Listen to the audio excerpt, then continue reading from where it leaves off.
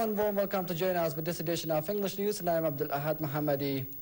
Afghan government on Thursday named Saudi Arabia or Turkey as the best places to set up a Taliban liaison office abroad to enable peace talks to end the devastating 10-year insurgency. President Karzai convened a top-level meeting to discuss how to move forward with a peace process derailed by the assassination of his peace envoy Burhanuddin Rabbani in September. The meeting came one day after Afghanistan announced it had recalled its ambassador to Qatar in protest at being left out of talks in which the United States discussed plans for the Taliban to open an office in Qatar. U.S.-trained Afghan village police have committed some human rights abuses. A U.S. military inquiry has found the investigation followed a report by the Human Rights Watch that alleged some Afghan local police unit had committed abuses including rape and murder. Recommendations made by the U.S. investigation include increased human rights training for the ALP plus strong oversight. The inquiry was carried out without the involvement of the Afghan government. It found seven of the allegations by Human Rights Watch to be credible. They include a case where Afghan police had killed an ALP commander who was trying to release two boys who were kidnapped. Iran escalated its confrontation with the United States on Thursday over the captured U.S. spy drone, warning Afghanistan to order a halt to such surveillance flights launched from its territory. Further flights would be regarded as a hostile act, the Iranian Foreign Minister Ali Akbar Salehi told Iran's official news agency.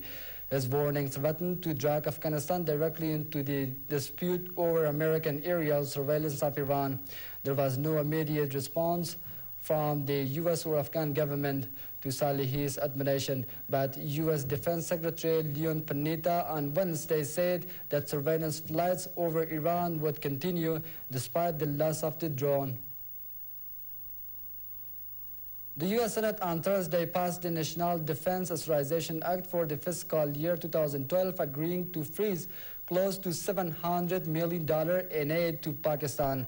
The bill will now be sent to the White House for President Obama's signature before it becomes law. The bill, which also places sanctions on Iran, calls for a hold on 60% of Pakistan counterinsurgency fund over the issue of Pakistan failing to act against the flow of IEDs and raw materials for bombs. The United States seeks new supply routes to Afghanistan after Pakistan closed its airspace.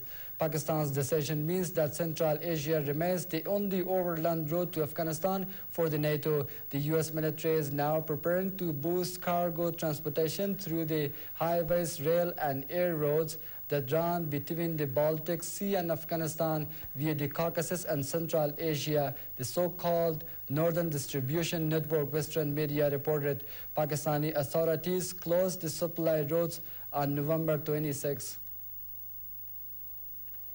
Pakistani Taliban recruits are being trained for suicide missions deep in the hills of South Waziristan. During the combat training, fighters lumped each other down on the ground, chanting God is greatest. The men are being trained to face the Pakistani army, one of the biggest in the world, Reuters news agency has reported. The Pakistani Taliban, an ally of the Afghan Taliban and Al-Qaeda, pledged to overthrow the government in Islamabad after operations began against militant groups in 2007.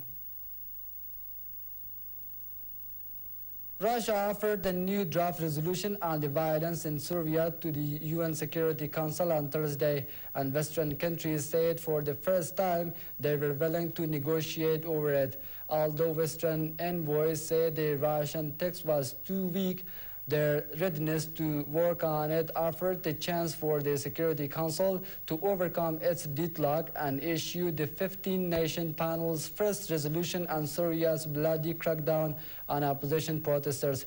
The Council has released just one formal statement split between Western countries harshly critical of Syria on the one hand and Russia, China, and non-aligned countries on the other that have refused to put the main blame on the Damascus for the violence. U.S. Secretary of State Hillary Clinton said on Thursday the United States will be working closely with Iraqis to ensure the security of civilians in Iraq now that the war there has officially ended. In a wide-ranging news conference after meeting with Denmark's foreign minister, Clinton told reporters that the United States has had strong commitments from the Iraqis. Whatever assistance we need will be forthcoming.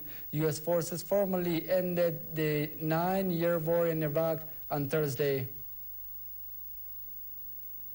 More than 70 Syrian army commanders and officials have been named by former soldiers as having ordered attacks on unarmed protesters in that country, a U.S.-based rights group says.